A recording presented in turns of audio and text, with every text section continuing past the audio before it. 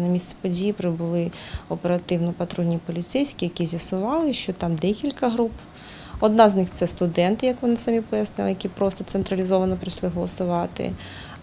Другі пояснили, що вони перебувають нібито для охорони штабу одного з кандидатів.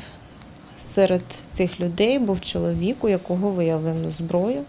Він був запрошений до відділку. Сам пістолет попередньо стартовий вилучив. Буде направлений на експертизу, а також за вказаним фактом. Поліцейські з'ясовують усі обставини і вирішується питання щодо притягнення чоловіка до відповідальності.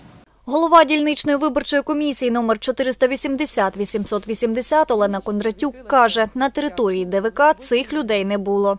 Десь о 9.30 було таке повідомлення, що десь якась там група за нашими приділами наших цих. Ну, до нас ніхто не приходив, у нас було все спокійно, все було тихенько. Жодного порушення на дільниці станом на 13 годину не зафіксовано, говорить спостерігачка за виборами Галина Голуб.